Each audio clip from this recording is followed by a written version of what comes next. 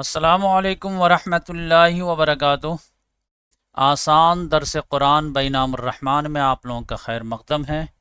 अब इन हम लोग शुरू करने जा रहे हैं वीडियो नंबर 145 145 सूर्य नंबर 11 सूर्य हूद, पारा नंबर 12 और आयत नंबर इकसठ। चलिए शुरू करते हैं, अल्लाह ताला का नाम लेकर के।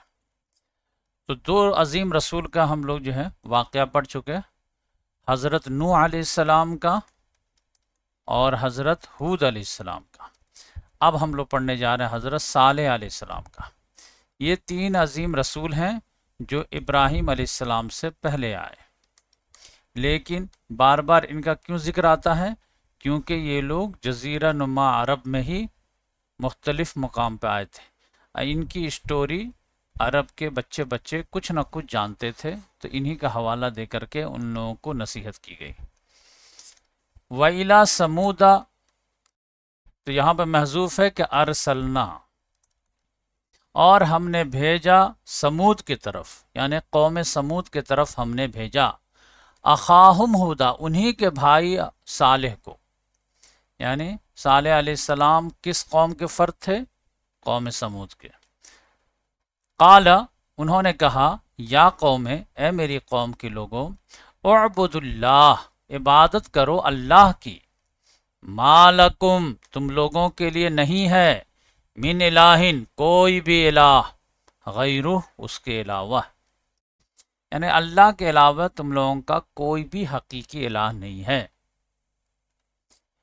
हुआ अनशा मिनल अर्स वही अल्लाह ने तुम लोगों को पैदा किया है। कुम, तुम लोगों को पैदा किया है मिनल अर्ज़, ज़मीन से, यानी मिट्टी से। अवस्था कुम और तुम लोगों को आबाद किया है फीहा इस ज़मीन में। तो फस्तक फिर तो उसी से जो है बख्शिश तलब करो। सुम्मा तुबू और उसी के जनाब में पलट जाओ। उसी के बंदा बन जाओ। इन न रबी करीब मुजीब, बेशक मेरा रब बहुत करीब है, और दुआओं को सुनने वाला भी है। यानी ये जो है, कम इल्म लोगों के जहन में ये भी रहता है कि अल्लाह ताला तो बहुत बड़ी हस्ती है, बहुत बड़ी हस्ती है, बहुत बड़ी हस्ती है तो हम लोगों की बात कहाँ पहुँच पाएगी उन तक? जैसे प्राइम मिनिस्टर से कोई बात कहनी हो तो आप कहेंगे, अरे भाई दिल्ली में प्राइम मिनिस्टर हम यहाँ पे कौन सुनेगा? कोई प्रधान उर्धान है तो उससे कोई बात निकलवा लें हम। तो इसी तरह जो है वो लोग सोचते थे कि हाँ अल्लाह को मानते हैं, लेकिन बहुत ऊपर की हस्ती है, हम लोग छोटे लोग हैं तो हम लोगों की बात कहाँ पहुँचेगी? तो अल्लाह ताला ने कहा, नहीं नहीं इन रबी करीब, तुम्हारा रब बहुत करीब है। उसकी शान है अजीम, लेकिन है बहुत करीब। अब मुजीब, हर एक की बात सुनता है। उसके लिए बीच में किसी पादरी पंडित पीर को डालने की ज़रूरत नहीं है। सिद्ध दिल से इस्तफार करो और अपना मुतालबा रखो, फ़ौरन कबूल होगा तो साल सलाम की दावत का जवाब क्या मिला? कालू, कौम समूद ने कहा, या साले ए साले, कद कुंता फीना मरजूवन, यकीनन तू था हमारे दरमियान उम्मीदों का मरकज़। कबल हाजा, इस दावत से पहले। यानी तू जब जवान था, बचपन, लड़कपन, अधेड़पन, जवानी, ये सब दे दे तो हम लोग समझते थे कि तू बहुत होनहार लड़का है। पढ़ लिख करके तू कौम का नाम रोशन करेगा, गाँव का नाम रोशन करेगा, लेकिन तू ये कौन सा काम शुरू कर दिया कि हम लोग को ही समझाना शुरू कर दिया? और फिर बाप दादा के दीन को ही गलत साबित करने लगा। बाप दादा के दीन को और जो है चार चाँद लगाना चाहिए था तो उसी में जो तुम जो खामी निकालने लगे। तो अतन हाना अन्नाबदा मायाबदा आबाना।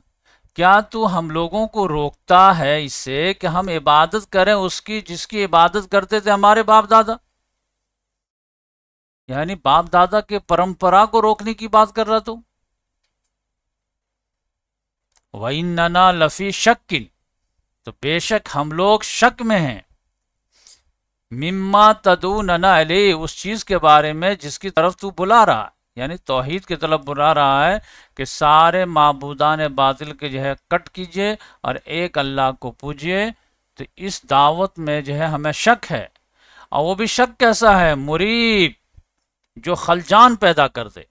तो ये शक की मुरीब जो है, ये समझिए कि ये मौसूफ है, ये सिफत है। वही नना लफ़ी शक की मुरीबिन मिम्मा तदूनना इली ऐसे है। लेकिन वज़न बैठाने के लिए, देखिए, तकसीर, मुरीब, ये सब तो इस लिहाज तो तुम्हारी बातों से तो हम लोगों को शक पैदा हो रहा है। बहुत ज़्यादा कि पता नहीं क्या बात कर रहे हो। पढ़े लिखे तो हो, लेकिन।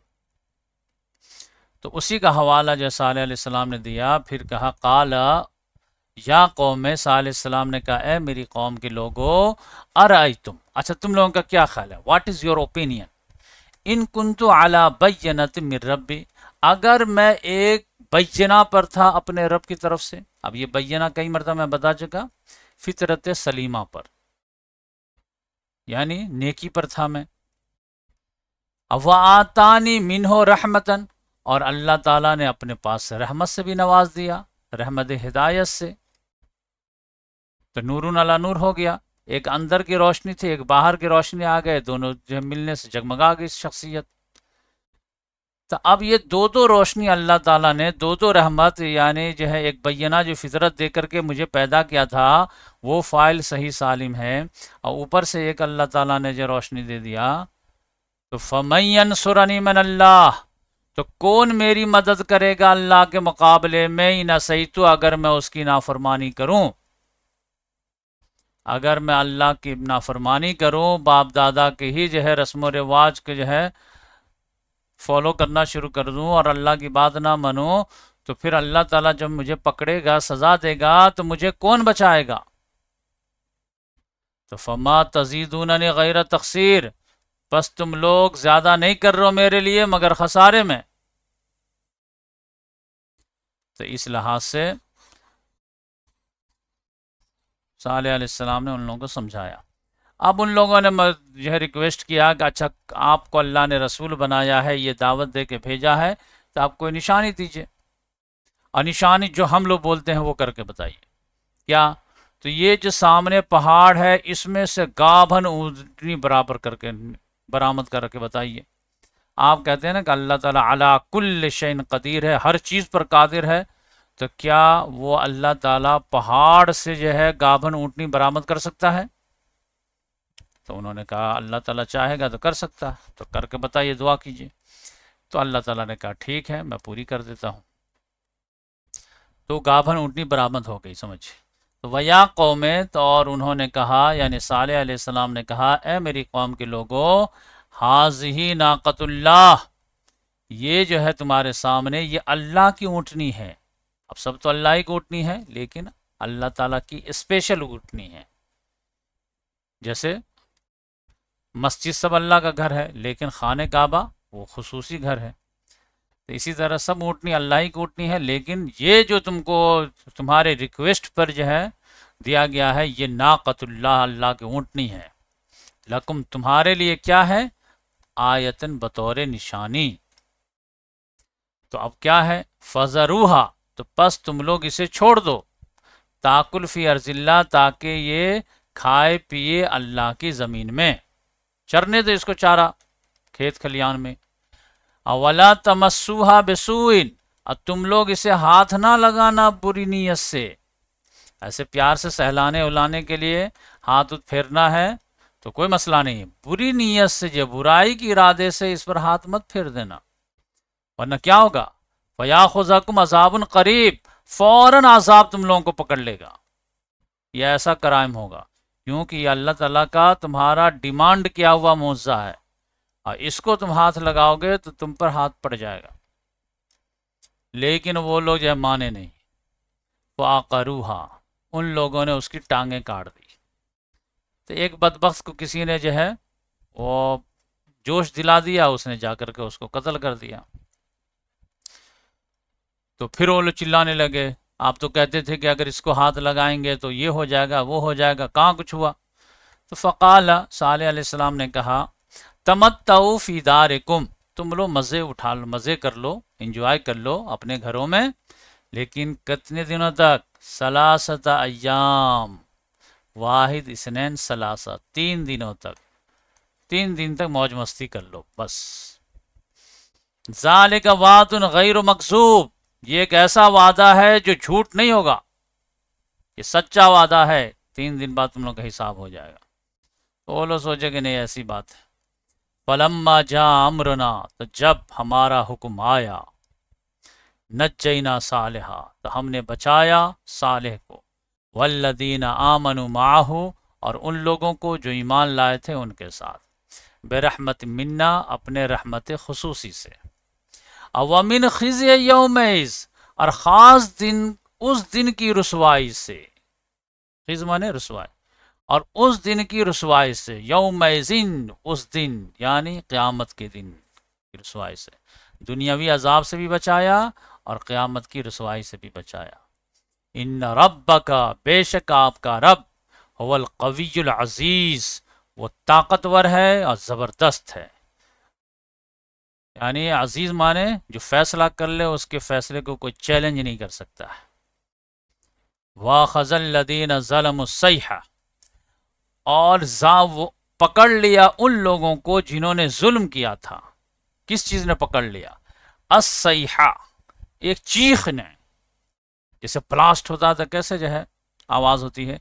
तो एक चीख ने पकड़ लिया उन लोगों को जिन्होंने जुल्म किया था।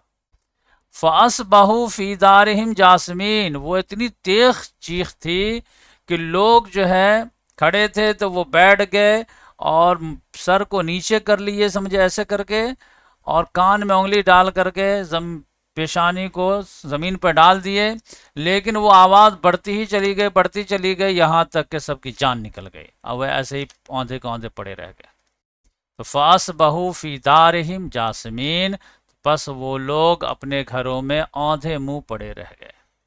उठ ही नहीं पाए। और अब क्या हालत है? जहाँ पे हिजर का इलाका है उन लोगों का। अल्लाह ताला ने कहा कि आप क्या, कैसे हैं वो लोग? कालम यगनूफी हा वो ऐसे हो गए गोया के उस बस्ती में वो लोग आबाद ही नहीं थे। मकान तो है, मकीन नहीं है। इमारत बता रहे खंडर अजीम थी, लेकिन सब फिना हो अला इन समूद कफरू रब आगाह हो जाओ। बेशक समूद ने इनकार किया था अपने रब का। ए कुरैश वालो, तुम लोग भी इनकार कर रहे हो अपने रब का। अला बोदल समूद, आगाह हो जाओ, फिटकार है समूद के लिए। तो यहाँ तक हम लोग पहुँचे। अब यहाँ से जो है स्टोरी शुरू होगी किसकी? इब्राहिम अलैहिस्सलाम की, ये देखिए।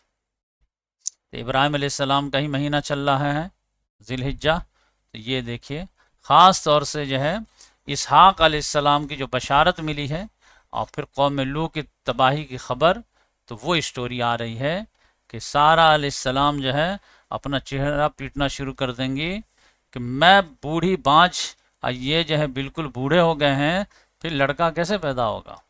तो अल्लाह ताला ने कहा कि तुमको अल्लाह ताला की रहमत से ताज्जुब लग रहा। तो ये स्टोरी इंशाल्लाह नेक्स्ट वीडियो में पढ़ेंगे। अभी वीडियो लंबी हो जाएगी। जजाकल्ला